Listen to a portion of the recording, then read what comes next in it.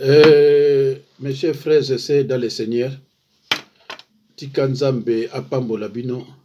bino moto mesana kolanda ngai eh, malgré bacombat bacomplication bapersécution mais eh, je résiste eh, cher patriote je crois que esali kama mikolo bozolanda nga te na koma mboka e, nazwaki ba bakoti na na chaîne na ngai basali oyo bakoki kosala balingi te naloba makambo ya politike surtout ndenge natiaka ba nde natiaka babiloko ba esalaka bato motema mpasi na ndenge akosakana te bazoluka na makambo ebele tusa moto mosusu akosala na ye akoloba nde makambo ya politike eya nango problème te sauf nga so nalobi nde ça devient problème parce que bayebi ke bamosusu bazolobaka bamakambo batanga na bango te bamosusu bazoloba bamakambo bato bakomprendre bango mpenza bien te kofinga bamobolo banini babia ah, bango ekoservir na rien me nga so nalobi babi yo oza mosali na nzambe ozolakisa baimage c'est sérieux mais c'est sérieux mais c'est sérieux mboka eza ya kokufa soki bolobi ke yanga c'est sérieux mais c'est sérieux parce que mboka eza ya kokufa alors bamenace na makambo nyonso bakoti ntina baappareil ya telefone e sikoyo youtube meme auti okomela ngai ke na video moko nalobi makambo ya nzambe eh, droit eh, eh, nabuki mibeko na droit d'atteinte na makambo ya na eloko ya moto donc bazoluka nga kote mosusu basorcene mpe na basataniste bazoluka nga kote mosusu mateya wana oyo natie ya envoutment lokola epesi bango mpasi na ndenge akosakana te bazokende kokota ti kuna mpo baboma yango mpo oyo oyo eh, oyo baboma kuna baboma eyaki na chaîne na ngai te sikoyo oyo balingi baboma yango oyo eza na chaîne na ngai parce que ifale kopreche bana nzambe ozala eglize nini osambelaka wapi ntango ozovivre na mokili oyo fo oyeba enseignement ya mvutuma bango basatani na basorcier bayebi yango koleka nga me baza na ndenge ya kotya yango te kotya baverse bani bayebi te alo lokola nga natya yango mpenza ke bato bazo comprendre ezopesa bango mpasi na ndenge ya kosakana te alo bandeko na nga c'est vrai que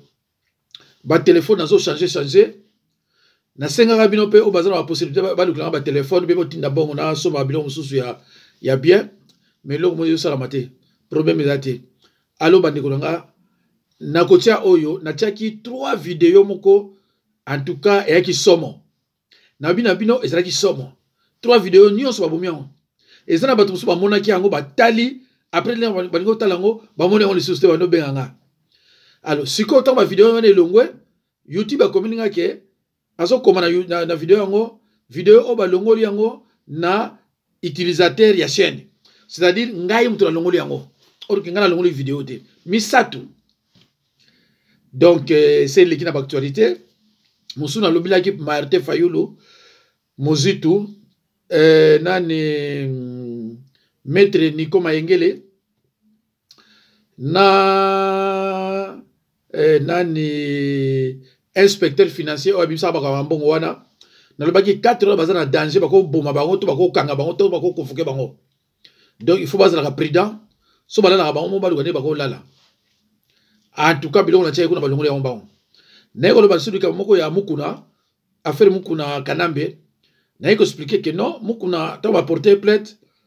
eh, les juges ont accéléré le dossier il a été entendu, condamné et emprisonné. Vite fait, on a accéléré tout. Et c'est le même cas pour la Kamere. Kamere ntango aporte plainte ake kuna mpo bakangi ye mbala moko prison mais comment ça se fait que ba, na baplainte wana nyonso plainte ya liboso ezalaki ya kabila mais pourquoi kabila azokende osamba te parce que basinyasaki tilombo ke président oyo alongwe makambo na ye nyonso etilombo mpe alobaki yango ye moko ke balandela babiloko wana te mais lelo oyo aza euh, sénateur à vie mais soki abomaki bato soki basalaki nini ah, mais fo balandela ye mais bazolandela ye te alors j'ai tout expliqué que droit état de droit eza état ya en dehors ya kanambe zoe eh, kanambe zoe eh, jeannette na mwasi ya kanambe na babugera wana droit eh, état de droit ekotouche bango te mais bato mosusu nde ekotouche bango alors bandeko nalingi nalakisa bino avant tokontinue na koloba scandale moko eleki na, na, na, je crois na goma ya mwana mwasi oyo bazobwakela bambongo eh, na banzi mosusu bamonaki yango mais totala nano mpo ye moko mpe auti korépondre so sikoyo eh, il semblerait ele responsable de laner agoma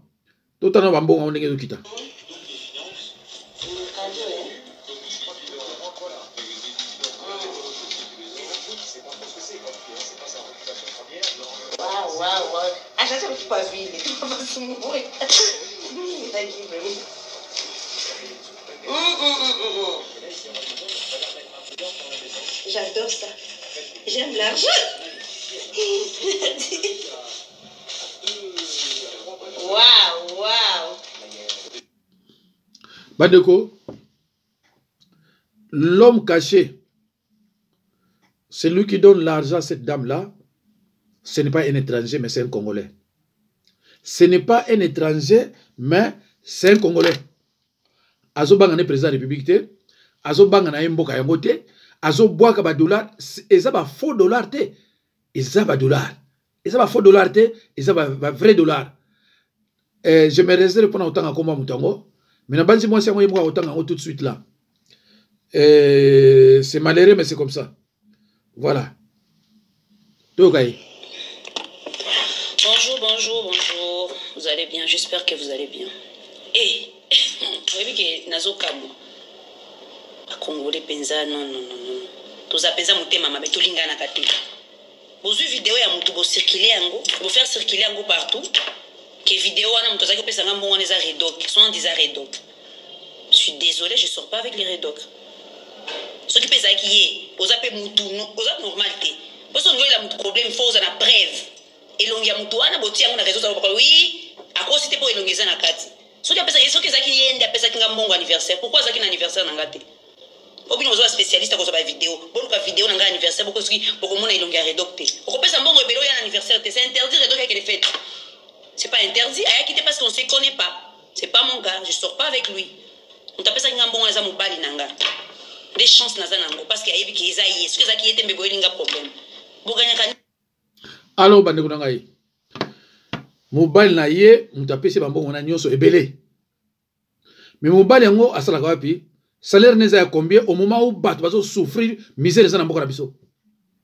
kopesa mbongo epai ya mwasi moko afai na ye na ndako bozwi mbongo ebele bokabili ye aza koseka aza mpe na courage aza na audace ya kobima ya koloba ke aye na aye kuna te estce so moto apesi mbongo aza oblige ya donc so moto apesi yo mbongo aza oblige ya na, na anniversaire na yo tomonaki oyo ya kameria anniversaire bapesi bambongo boni na anniversaire ya kamere oyo na anniversaire ya pamba azotutatolo combien de bambongo combien de bambongo bazokontinue koyiba peuple congolais aosouffrir mais boyebaka ke les yeux de l'éternel sont partout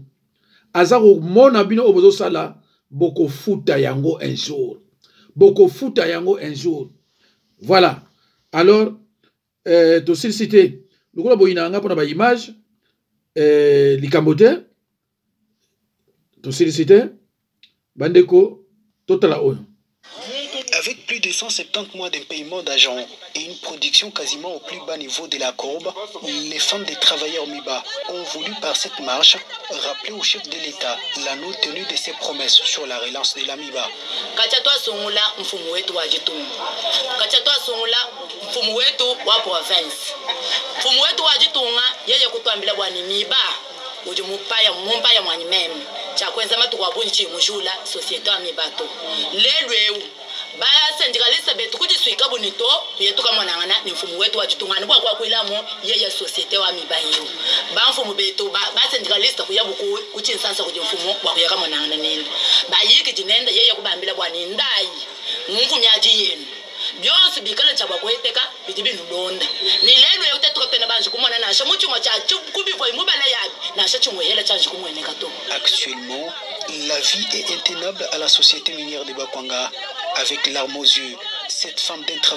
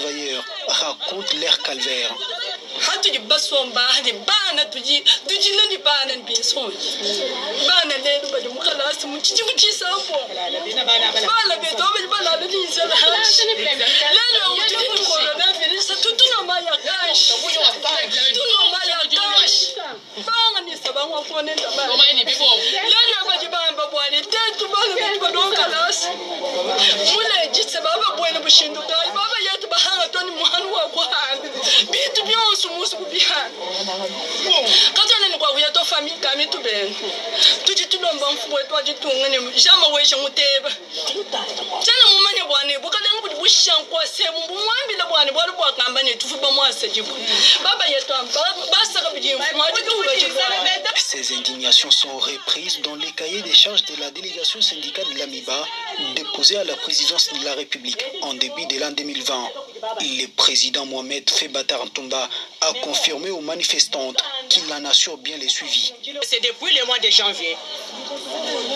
que leurs maris ont touché 100 dollars après multiples manifestations effectuées. Jusqu'aujourd'hui, rien, rien, rien du tout ne leur est parvenu.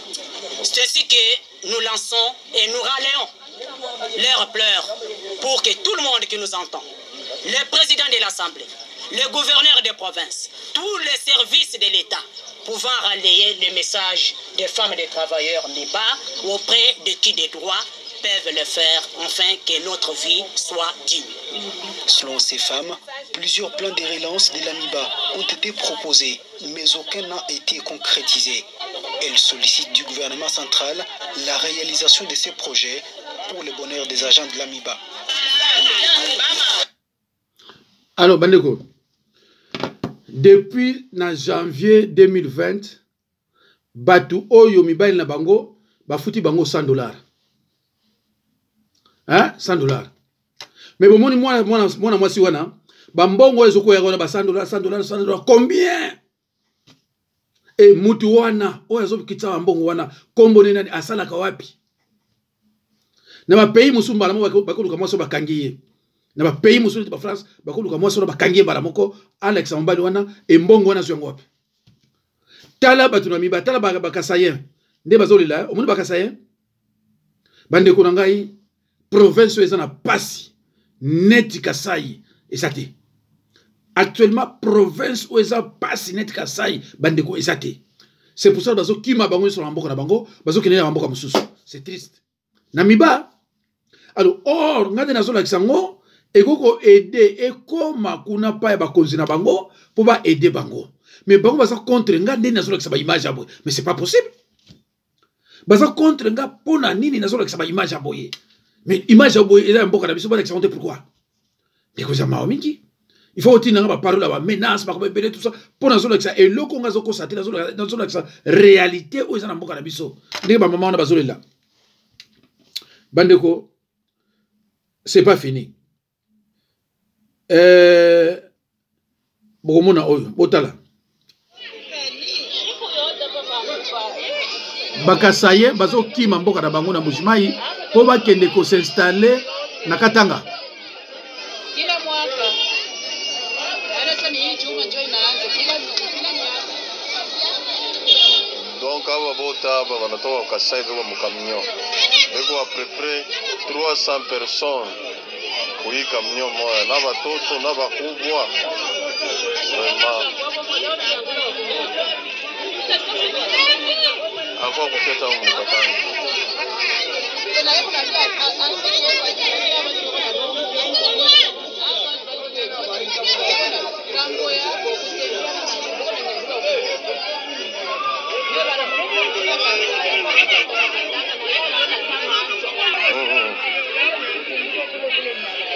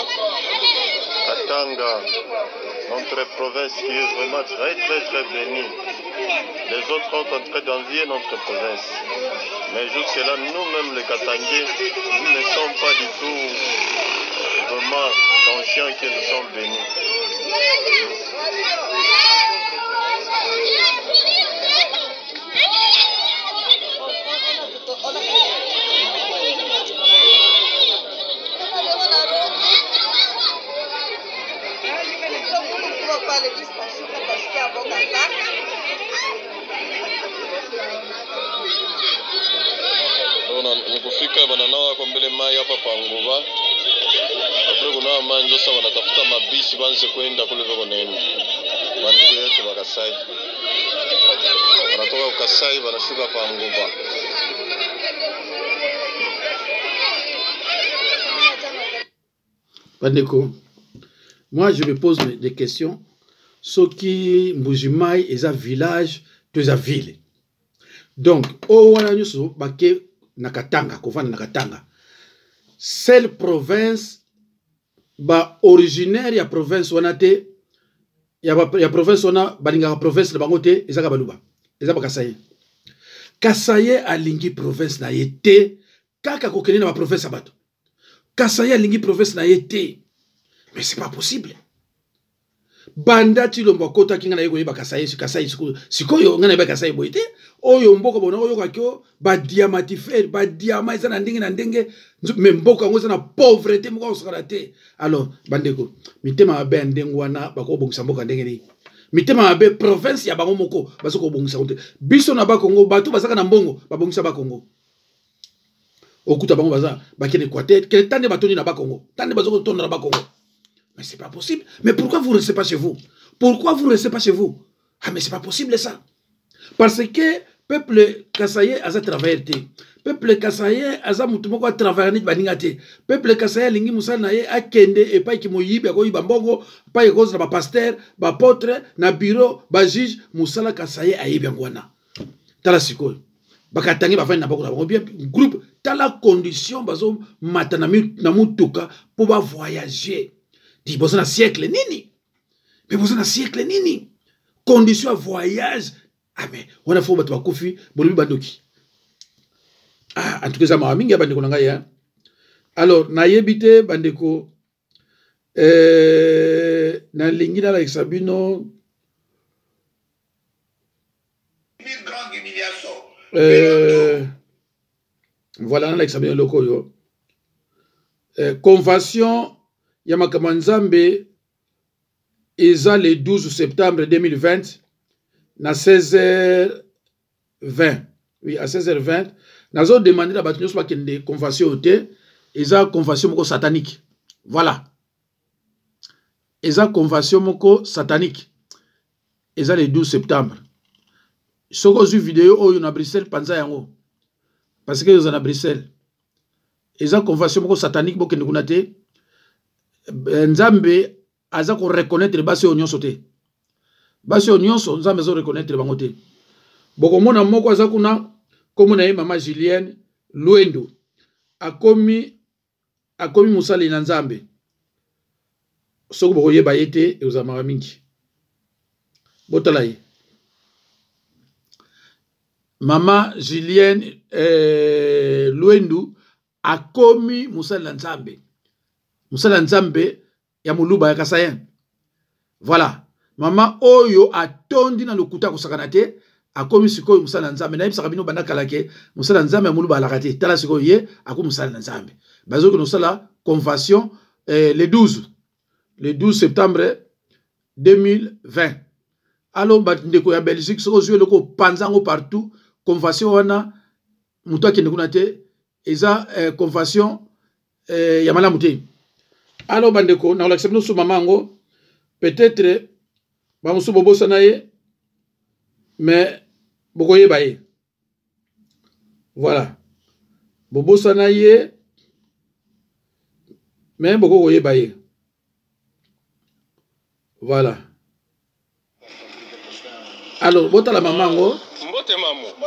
omoni ye likambo nini eyeli yo lelo na ntongo tomoni oza kolela mekana koyebisa bana mboka ya kongo bameka koyeba likambo ekomeli yo lelo na matonge awa toza na matonge na chaussée de euh, wavre Euh, tomoni mama na biso akolela toyebi te likambo nini eyeli yo mama papa toza na gizer nalobi po ngai na bana na alsace lorraine kuna po nakende na kosomba mapa na gb il faut okendela kuna okota na fortis nayebaki teke bazosala bamarshe na bango lelo nakei na gizer nalingi nakende bona moni mokeco apesi mokongo boye mhm. alobi taliba taliba ye wana taliba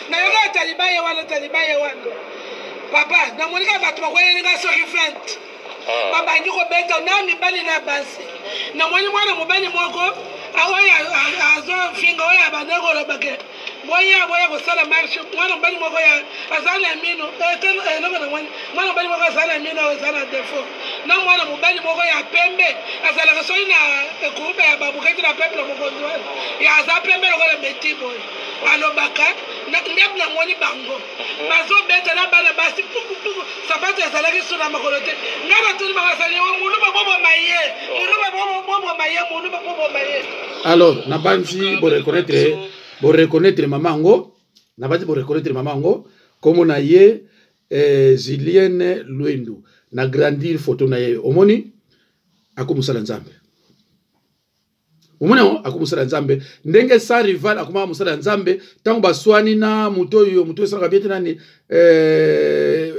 elize elize alobi yo te azalaka nekutu mosala ya nzambe te ye moko alobaki aza mosala ya nzambe alabani olobi nga paster sans rival paster sans rival nzoka azalaka nde mosala ya nzambe te c'est pareil avec chalo tumba chatumba ye awa ah, awa mosali na nzambe mosali na nzambe ntango akrake mwa eza susu te amibimisi ke azalaki na enganga na kasai kuna azalaki ne mosali na nzambe te soki bomoni mosali na nzambe neti badeni lesi batya tumba babimi bakomi kokritika mosali na nzambe kobetele maboko te kisi esili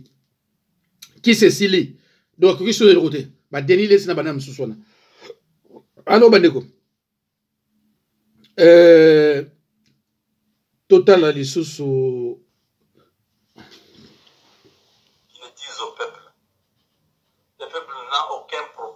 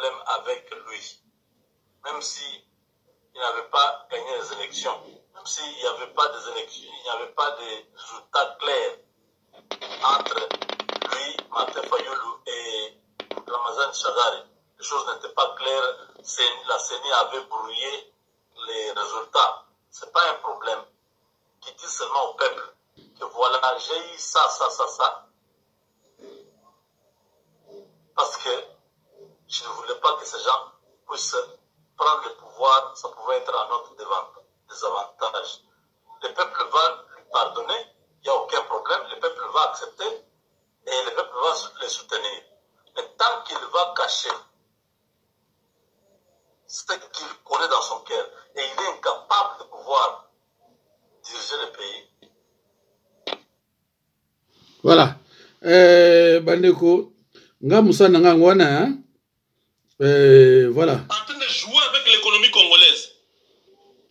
il est là en train de, faire entrer les armes pour déstabiliser le pays il est là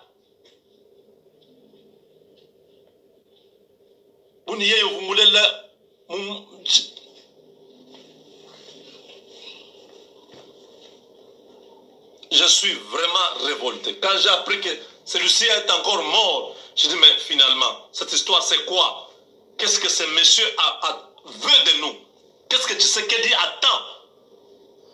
Qu'est-ce qu'il croit Que les 5 ans, c'est la fin du monde, c'est dans 30 ans. Les 5 ans, c'est demain.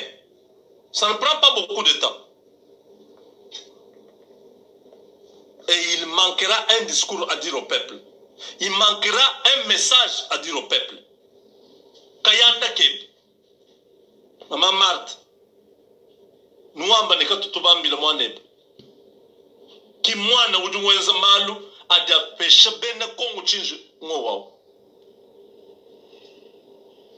savez au kasai c'est que si à kinshasa déjà la situation est telle que ma mère vit au kasai il y a la pire de misère au kasai où il manque de tout l'électricité c'est devenu un luxe il y a des gens qui ont des petits panneaux solaires dans des cabines publiques. Ma mère doit aller là où il y a les panneaux. J'étais obligé de lui acheter un panneau pour qu'elle puisse avoir ça à la maison. Elle doit se déplacer avec le téléphone pour aller charger le téléphone dans un, dans un panneau solaire, dans une cabine. Vous me dites que vous avez les pouvoirs. Quand on dit non, non, ça fait, il y a encore une année, il a cinq ans. Vous pensez que la dernière année des élections, là, on compte ça Il a quatre ans. Parce que dans la dernière année,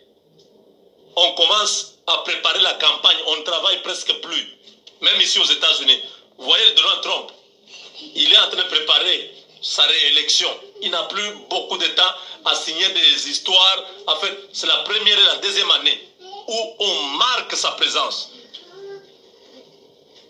Les Kassai, sans route, sans électricité, sans eau, coupés du monde. On ne peut pas accepter ça. Vous soutenir ne veut pas dire que nous sommes esclaves. Après tout, c'est notre pays vous passez, il y aura un autre président qui sera là. Je suis vraiment en colère. Je ne peux pas continuer à accepter ça. Je soutiens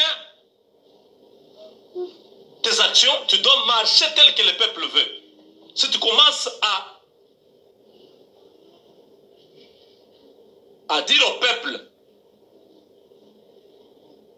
d'attendre, d'attendre, jusqu'au point où le peuple comprend qu'il y a quelque chose qu'on ne nous dit pas, ça va, ça va un jour barder. Je l'ai déjà dit dans mes émissions passées. J'ai dit, un jour, toujours le même président qui sort, qui est acclamé par le peuple, demain quand il sortira, le peuple va crier sur lui. Et ça sera la fin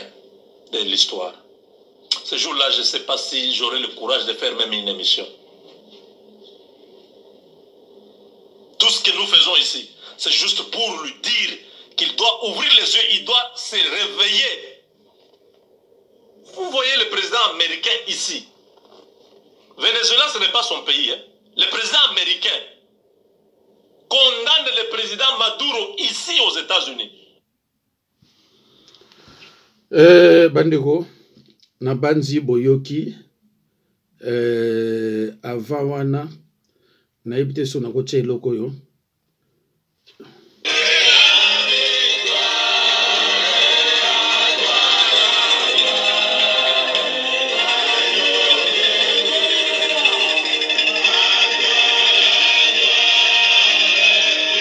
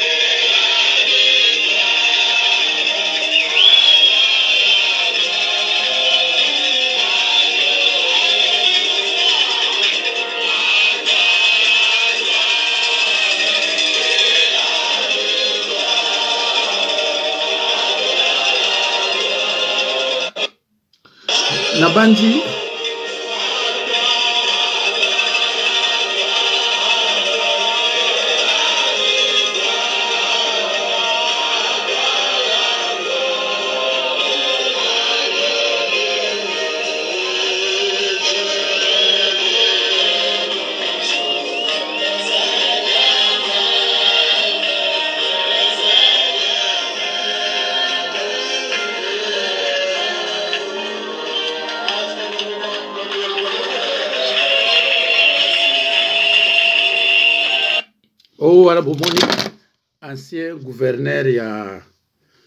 ya nani ya Kasai oyo mwana na ye afingaki eh, Denise voilà donc eh, ye wana babandi kosambela sans que bayeba ke ngai na blokaki déjà ba prière na bango nyonso donc eh, ezo servir na rien euh, bandeko bokomona awa bokoyoka explication nango mpenza mokolo mosusu